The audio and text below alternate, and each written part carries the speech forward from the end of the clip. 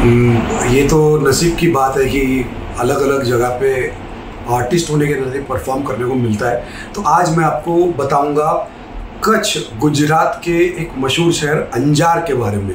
जितना हो सके मुझे नॉलेज मिला है वहाँ के बारे में, वो मैं आपको दिखाऊँगा। हर एक गली, हर एक जगह जो मैं आपको दिखाना चाहता हूँ, जो मैंने देखी। मुंबई से अंजार जाने का रास्ता मेरा बोहाया एयरपोर्ट था। मुंबई से कंडला एयरपोर्ट मैं फ़्लाइट से गया जिसका ड्यूरेशन था डेढ़ घंटा।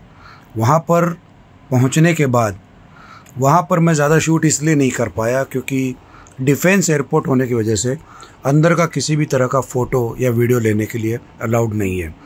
वहाँ से बाहर आने के बाद मैं अंजार की ओर निकल पड़ा। अंजार एक ऐसा शहर है जिसके बारे में इतिहास में जो रिकॉर्ड है वो ये कहता है 650 एडी में इस शहर का पहला रिकॉर्ड मिलता है। लेकिन तीन बड़े अर्थक्विक धरती कंप सहने की वजह से लिखे हुए सबूत, शिलालेख या किसी भी तरह के एविडेंस आज दुनिया में मौजूद नहीं है।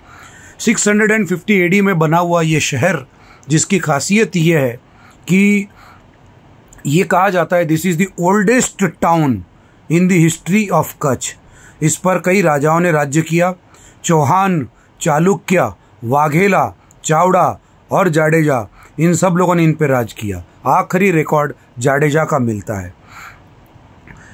लेकिन आखिरी राजाओं में राजा अजय पाल जिसको लोकल लैंग्वेज में अजय पाल कहा जाता है, इनका वर्णन ज़्यादा मिलता है। एक सेल्फलेस डेडिकेशन टुवर्ड्स अंजार देने वाले राजा राजा अजय पाल जिन्होंने ट्रेड को, व्यापार को इतनी ज़्यादा बरकत दी प्रॉस्पेरिटी दी कि विदेश से, चाइना से, रशिया से अलग अलग देशों से लोग यहाँ पर ट्रेड करने के लिए आते थे। लेकिन ये प्रॉस्पेरिटी होने की वजह से कई लोगों की नज़रें भी इस पर पड़ी और यहाँ पर कई युद्ध हुए और अंजार को कब्जा करने की कोशिश की गई। और उससे भी बड़ी बात यह है कि खलीफाओं के साथ युद्ध करते हुए राजा अजय पाल जख्मी हुए और फाइनली कुछ दिनों के बाद उनकी मृत्यु हुई। एक यहाँ पर मंदिर है, उसके बाजू में ही अजय पाल राजा की समाधि है, ऐसा कहा जाता है। लेकिन लोकल लोगों की मदद लेने के बावजूद मुझे उसका कोई रिकॉर्ड नहीं मिल पाया। 1545 में राजा खेंगराज वन ने इस जगह को कच्छ की राजधानी घोषित किया, लेकिन फिर कुछ दिनों के बाद भूज को कच्छ की राजधानी किया गया। अंजार में देखने जैसी जो इम्पोर्टेंट जगह है, उसमें से एक नाम आता है टिम्बी कोठा, जो बीते हुए कल के इतिहास की गवाही अभी तक ज़िंदा है। ओम कालेश्वर महादेव राय टेंपल ये एक मंदिर है जो भले ही धरती कम की वजह से डिस्ट्रॉय हुआ है, लेकिन फिर लोगों ने बनाया। उसके साथ McMurdo's bungalow. McMurdo's एक ऐसी व्यक्ति थी जो बेसिकली स्कॉटलैंड से थी। 1755 में उनका जन्म हुआ था उनको ब्रिटिशर्स ने कलेक्टर ऑफ़ अंजार और ब्रिटिश रेसिडेंट की उपाधि दी थी।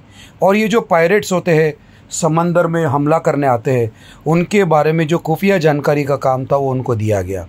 उन्होंने वहाँ पर आकर भारतीय संस्कृति को अपना लिया।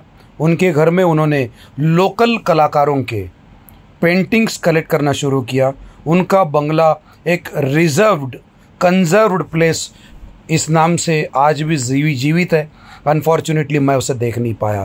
लेकिन वहाँ पर कहा जाता है कि रामायण की अलग अलग पेंटिंग्स वहाँ पर रखी गई है। वो इतने भारतीय संस्कृति के साथ जुड़ गए थे कि गाँव के लोग उनको लोकल लैंग्वेज में भुरिया बावा इस नाम से जानते थे।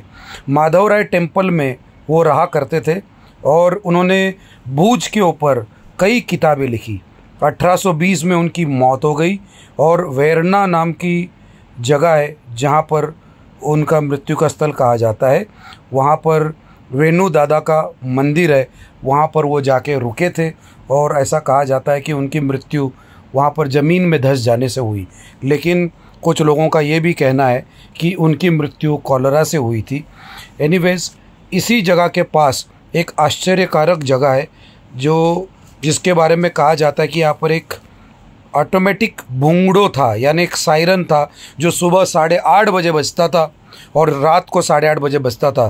That was the working time of this entire Anjar town आज भी वो सायरन बजता है, लेकिन अब कहा जाता है कि वो इलेक्ट्रॉनिक हो गया है। लेकिन वो बिना किसी इलेक्ट्रिसिटी के, बिना किसी पावर के सेल के बैटरी के, वो पहले चलता था, लेकिन धरती कम के बाद वो बंद हो गया था।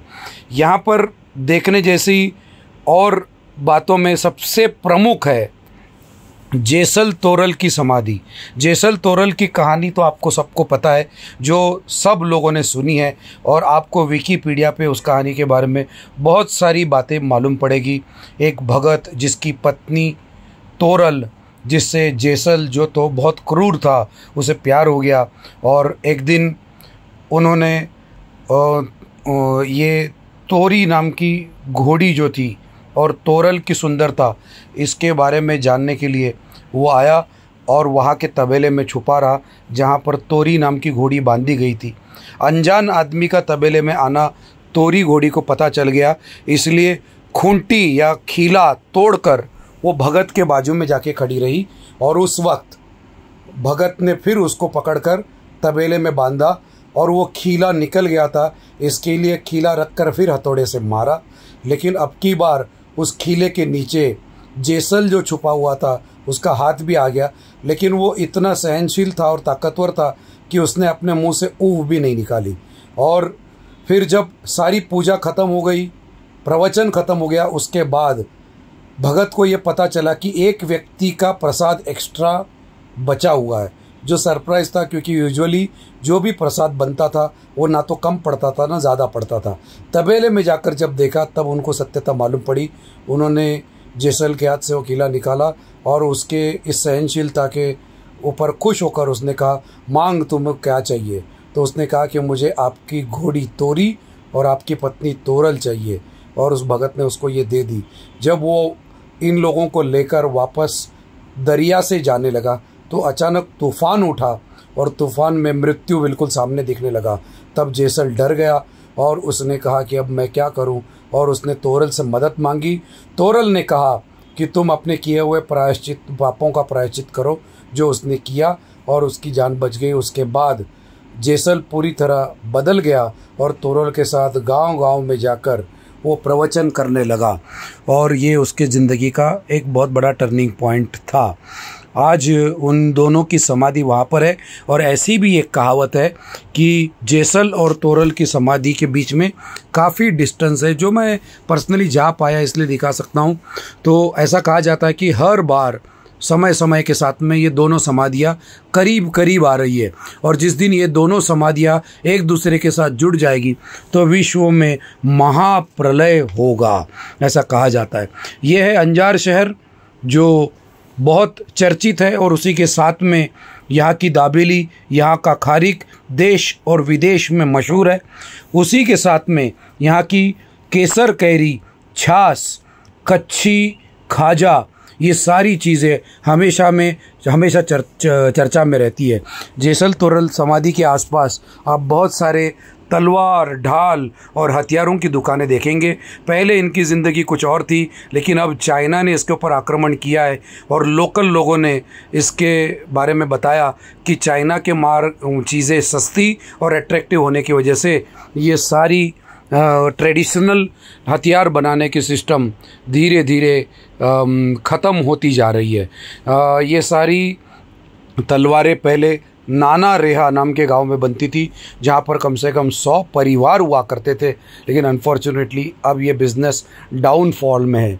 मगर बड़ी बड़ी इंडस्ट्रियल कंपनियाँ अब यहाँ पर कूच कर रही है, इसलिए आने वाले दिनों में Anjar is going to break all the records Anjar की और एक खासियत है कि अंजार में पैदा हुआ हुए कई परिवारों में से बहुत सारे परिवार ऐसे हैं जिन्होंने भारत में और विदेश में ज़बरदस्त नाम कमाया है, और आज वो एक बहुत प्रोमिनेंट फाइनेंशियल सेक्टर में बहुत प्रोमिनेंट नाम से जाने जाते हैं। यह है अंजार शहर, जिसको शत शत प्रणाम करता हूँ और उम्मीद करता हूँ कि आप मेरे इस चैनल को सब्सक्राइब करेंगे और ऐसी अलग अलग जगहों के बारे में मैं आपको बताता रहूँगा। और इसके बाद मैं कुछ ही दिनों पहले गया था अफ्रीका के एक आइलैंड, मेडागैस्कर में। तो मेरा अगला वीडियो होगा मेडागैस्कर, इस देश के ऊपर।